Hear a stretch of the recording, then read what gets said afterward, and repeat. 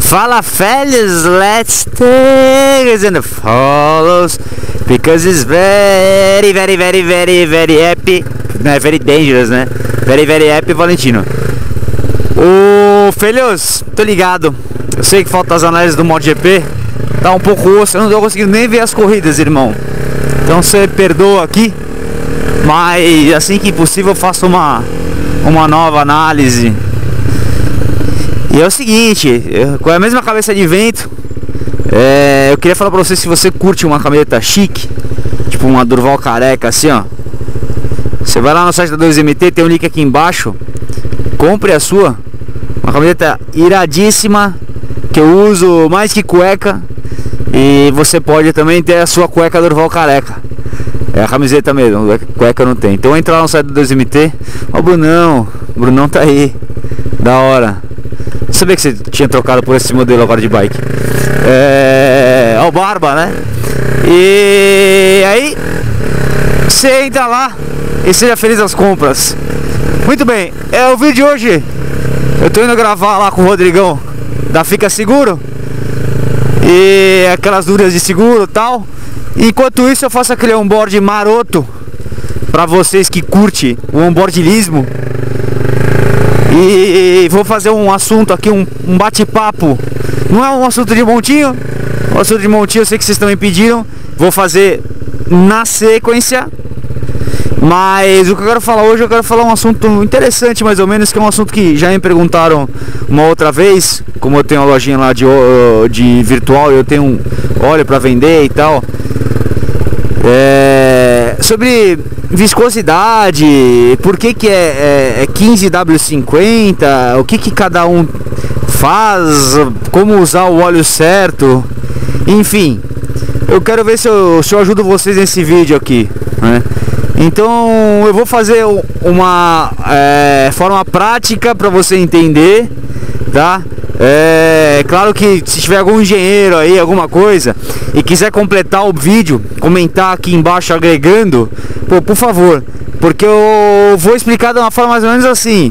Ah, por que, que se eu tampar o escape da moto com a mão é ruim? É, vou te falar assim, porque se você ficar com a mão na boca e trancar o nariz também, você morre asfixiado. Então é mais ou menos isso, tá? Pra entender fácil e ficar together full. Bom, é o seguinte, a primeira coisa é o seguinte. Foi o seguinte de novo, três vezes aí. Pode pedir a música. É, se você tem óleo mineral, semi-sintético e sintético, o que, que, é melhor? Por exemplo, até fiquei sabendo recentemente que na Sege do Belo Belo estão usando também semi-sintético já. Então, óleo mineral é o mais tranquilinho assim. Eu não uso, tá? O óleo mineral é tipo aquele suco tangue.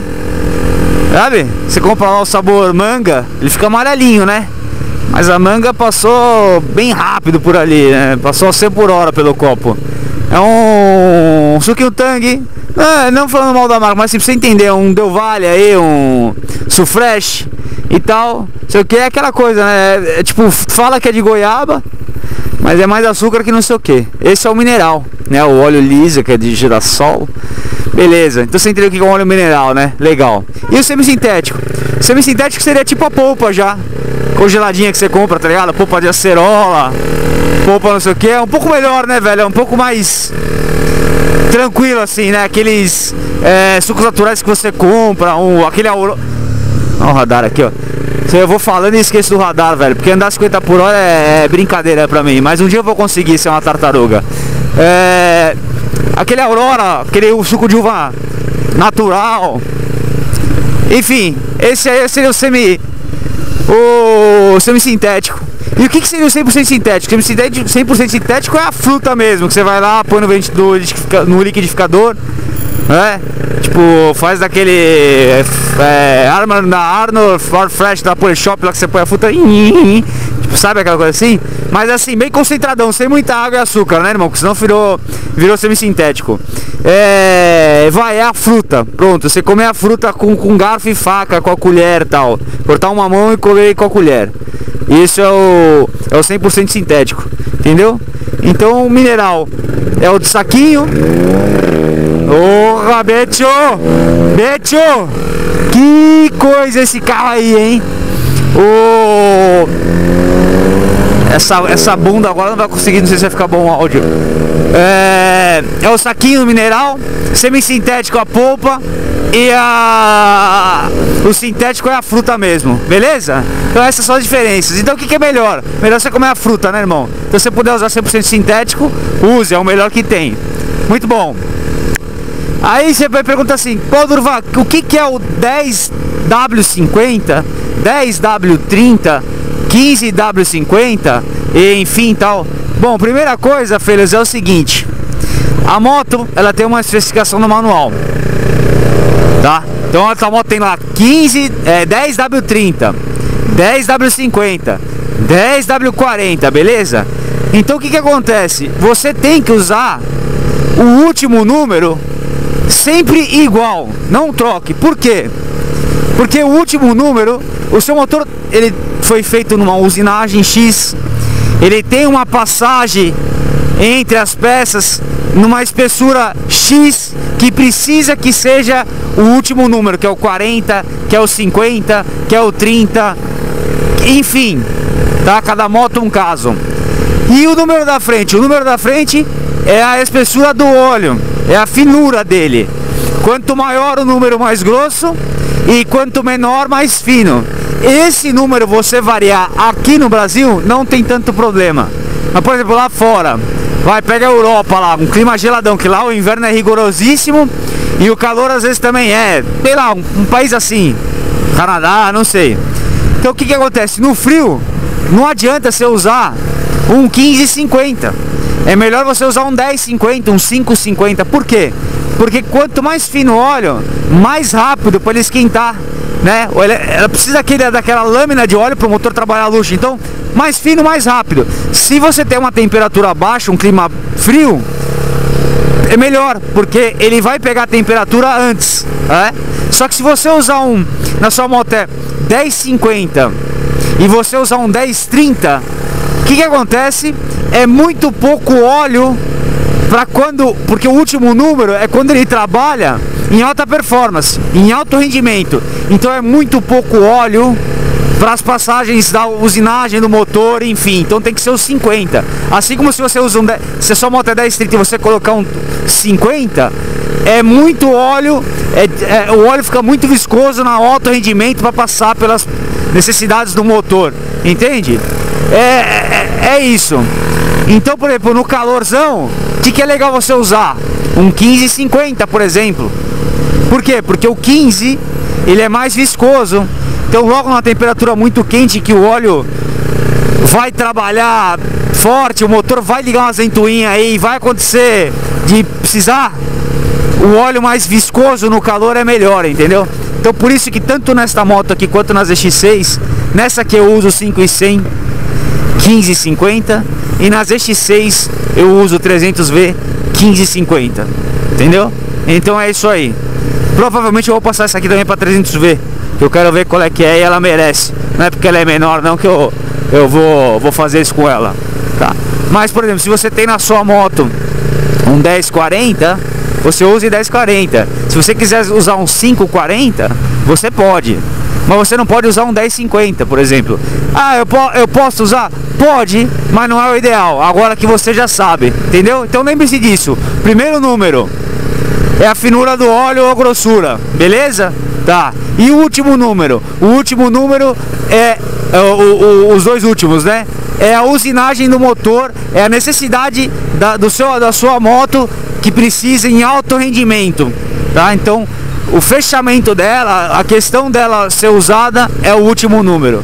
Então, por isso que você, se, se você quiser mudar, você muda o primeiro, mas não muda o último. Tranquilo, filhos? Legal. Então, espero que tenha ajudado. Tá? Eu não estou encerrando o vídeo porque eu ainda tenho que chegar lá. Não sei se eu tomei alguma multa aqui na, na 23, porque eu tenho que. Eu tô pensando aqui em falar o vídeo, eu não tô vendo caixinha eletrônica, tá ligado? Mas se eu tomei, eu vou pagar. E se eu não tomei, muito bom. E o radar, para que, que serve o radar? Para ele educar? Não, para ele arrecadar. Então tá bom.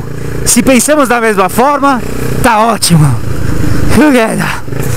Ai.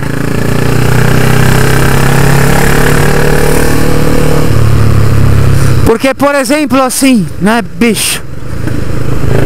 Eu mesmo, eu um dia vou andar 50 por hora? Talvez no futuro, quando eu não enxergar mais direito, quando eu perder a razão da distância para mim, que um carro está perto e um carro está longe, que eu for ficando míope nos óculos, que eu for, sei lá, por algum motivo da, da ironia da vida, eu ficar um cabaço na direção, aí eu vou usar a velocidade recomendada. Caso contrário, não vou usar. Então não adianta o radar nem a multa, porque eu não vou parar. Entendeu? É o mesmo caso do bandido que vai pra cadeia.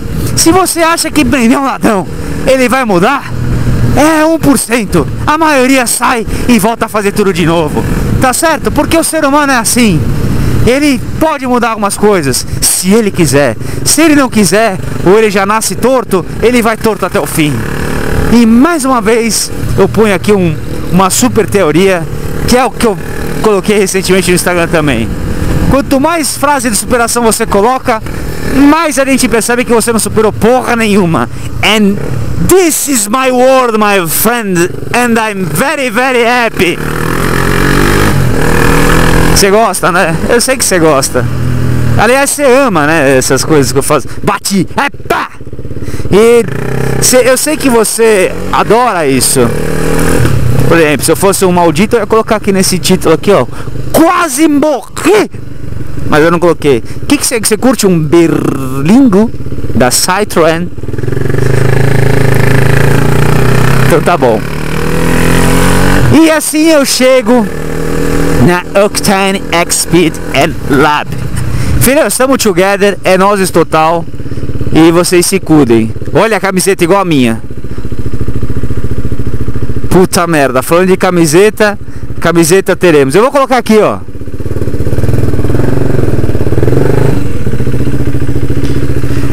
Como que se desliga a moto? Ô filho, como que se desliga com classe a moto? Beleza.